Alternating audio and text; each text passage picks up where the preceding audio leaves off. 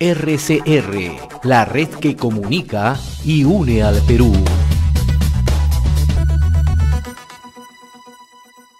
A esta hora saludamos a señor Alejandro Fuentes, el presidente de la Asociación de Gremios Agrarios AGAT. Qué gusto saludarlo, señor Fuentes, muy amable como siempre con RCR. ¿Qué tal, José? ¿Cómo estás? Buenos días. Bien, ustedes a, través de un, ustedes a través de un comunicado público de la Asociación de Gremios Productores Agrarios de Perú han mostrado su preocupación, están rechazando la exclusión del sector privado ¿no? por parte del Ministerio de Desarrollo Agrario y Riego Midagri en la conformación de un grupo de trabajo sectorial que está viendo que es el encargado del desarrollo de lo que se conoce o lo, de los anuncios del gobierno como segunda reforma agraria. ¿no? ¿Cuál es el tema de fondo acá, por favor? Porque este es un tema central, medular. ¿no? Estamos discutiendo en otros ámbitos, ¿no? La falta de comunicación con eh, distintos sectores, ¿no? Eh, recién, lo, de ayer es una muestra, ¿no? Que incluso la empresa que es la que tendría que ver justamente el tema central, como es el caso de Camisea, no había sido comunicado. Y en este caso también vemos que ustedes están siendo excluidos. ¿Qué es lo que está ocurriendo? Este, José, no, no solamente AGAP, ¿no? Eh, como bien lo dice en su comunicado Planagro, que es una plataforma en la cual participan muchas organizaciones del sector agrario, eh, yo en una entrevista dije que el 75% probablemente ha sido excluido, probablemente, y ellos mencionan el 80%, ¿no? En, en buena medida, una buena parte de las organizaciones y gremios del sector agrario no están siendo considerados. Y además, en este grupo sectorial hay un gran desbalance en donde está un viceministro, 10 directores del Midagri y solamente 6 organizaciones agrarias. Entonces, el gobierno ha dicho en su campaña, lo he dicho ahora, que se van a escuchar todas las voces y se entiende también con derecho a voto sobre el futuro del sector agrario. ¿no? Se ha mencionado que esto se va a trabajar con diferentes organizaciones y resulta que hoy en día realmente la segunda reforma agraria está en manos de funcionarios del Ministerio de Agricultura, que no digo que esté mal, pero claramente hay un desbalance cuando de 17, digamos, posiciones dentro de este grupo, 11 son ocupadas por funcionarios del Ministerio de Agricultura. Yo esperaría pues que hubiese por lo menos paridad entre organizaciones eh, gremiales del sector agrario y funcionarios de, ¿cómo se llama?, del, del. Adicionalmente, este es un problema multisectorial. Entonces, no sé cómo un problema tan importante, donde hay la, población económicamente activa más importante del Perú, se quiere ver solamente el Ministerio de Agricultura. ¿no? Aquí tiene que estar involucrado el MEF, tiene que estar involucrado el Ministerio del Ambiente, tiene que estar involucrado Produce, en sus extremos probablemente el, el Ministerio de Comercio Exterior. ¿No? Porque si se pretende acceder a mercados, bueno, tendría también que estar ese ministerio, pero se está viendo solamente este, desde la mirada del Ministerio de Agricultura y, y eso consideramos es un error. Y necesariamente tiene que estar incorporado también el sector privado. Usted lo acaba de decir, es la principal fuente de trabajo en el país, sobre todo en el tema agroexportador, en el tema agroindustrial. Hasta el momento ustedes no han sido invitados ni por el propio ministro ni tampoco por el propio presidente de la República. Eh, no, ha salido un comunicado el día de ayer del Ministerio de Agricultura diciendo que se va a invitar a todas las organizaciones. Pero ahí el temor es pues que se nos invite, claro, para ser escuchados, pero si uno no tiene derecho a voto, ¿no? Difícilmente va a poder lograr los cambios que se quieran lograr. Solamente quiero resaltar, sí hay, José, eh, parte del sector agrario ¿no? Este, privado, pero de nuevo, hay una falta de representatividad, consideramos nosotros, eh, en este grupo sectorial que debería ser multisectorial, porque los problemas son, son variados y son complejos, ¿no? Los que se tienen que resolver. Y no creemos que con el grupo que se ha conformado para un tema tan importante y tan clave ¿no? E, es casi que el programa, el caballito de batalla de este gobierno, es uno de los programas más relevantes para ellos, este, y entonces creo que ha faltado este, ser bastante más inclusivos. ¿Cuáles miran ustedes como riesgos esta pretendida segunda reforma agraria, señor Fuentes? No, el, riesgo es que al final, si no se está incorporando, digamos, a, las organizaciones más representativas dentro de un grupo como este, si no se está incorporando a otras instituciones del Estado con lo relevante que son. No sabemos, pues, en el Perú que si el Ministerio de Economía y Finanzas no participa de una mesa este, que sea multisectorial, donde se definan cosas, finalmente vamos a regresar al mes y el mes va a decir, bueno, no hay presupuesto y entonces las cosas no se pueden hacer. ¿no? Entonces es importante no solamente incluir a más organizaciones del sector agrario, sino también a más instituciones del propio Estado, para que esto en su conjunto salga un producto final importante para el sector que permita finalmente ese desarrollo, especialmente para las medianas y pequeñas eh, productores agrarios, que es el objetivo de la segunda reforma agraria. Y lo que todos buscan precisamente es el desarrollo de este sector, ¿no? desde la agricultura familiar hasta la agroexportación, hasta la agroindustria. Aprovecha la oportunidad. ¿Cuál es en este momento la situación del sector agroexportador? Eh, bueno, el sector agroexportador este año va a crecer y crecerá probablemente en los próximos dos años, porque eh, el público tiene que entender que el crecimiento se da por decisiones tomadas hoy en día en el 2018-2019. ¿No? nosotros no, nosotros no somos un sector que compramos máquinas y al día siguiente están produciendo. La mayoría de, de las agroexportaciones peruanas son cultivos permanentes que como mínimo demoran dos años, como máximo cinco años en comenzar a producir. Entonces los efectos que se ven ahora son decisiones tomadas en el 2018-2019.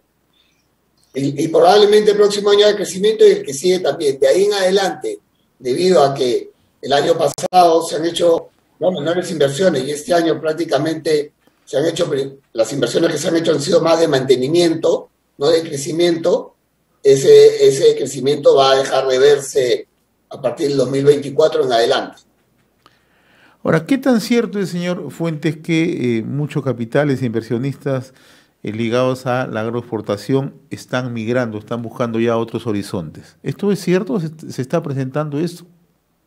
Eh, es cierto, se han dado inversiones peruanas en Uruguay, en Chile, en Colombia, y este, ahora conocemos de, ¿no? inversionistas que están viendo oportunidades en Ecuador. Ecuador ha venido a hacer más una presentación acá al Perú para fomentar inversiones del sector agrario en su país. Bien, en realidad ojalá que se tomen las decisiones más inteligentes y que sean las más convenientes. El sector agrario ha sido un sector que se ha desarrollado de manera intensa en los últimos años, sobre todo la agroexportación, la agroindustria, ¿no? que ha generado miles y millones de empleos. ¿no? Y ojalá que ahora que se está abordando el tema de la segunda reforma agraria, tengamos en algún momento aplicar la sensatez que tanto se requiere en el país. No sé si tenga algo que agregar, señor Fuentes, por favor. No, totalmente de acuerdo contigo, José. Estamos hablando después de más de dos millones de unidades agrarias en el Perú, más de cuatro millones de peruanos involucrados en este sector, es el sector que mayor empleo da. Entonces, y lo que necesitan los peruanos ahora es eso, generalmente, generar, que se genere más empleo y bienestar. Entonces, ojalá todos juntos, de manera más inclusiva, podamos trabajar en este gran proyecto de la segunda reforma agraria para poder sacar adelante un sector que ha sido muy olvidado. Y eso no es un cliché, no es una frase, ¿no? Realmente los últimos gobiernos de, que han habido en el Perú no han tenido énfasis en la agricultura. Esa es una realidad. Y si uno va a la sierra, especialmente del Perú, puede ver el abandono en el que se encuentran las zonas rurales. ¿no? Las ciudades pueden haber crecido, puede haber más crecimiento, desarrollo en las ciudades de la sierra del Perú, pero las zonas rurales, señores, es otra historia. Y ahí es donde hay una gran deuda que esperamos este gobierno, con la ayuda de las organizaciones ¿no? agrarias más relevantes, eh, podamos desarrollar un, digamos, un, proyecto muy ambicioso y que lleve a la agricultura del Perú, no solamente la agroexportación, sino toda la agricultura, especialmente la familiar, a una mejora en la calidad de vida de esos peruanos. Señor Alejandro Fuentes, muy reconocido por esta comunicación con RCR, Red de Comunicación Regional. Muy amable, buen día. Gracias. gracias. RCR, la red que comunica y une al Perú.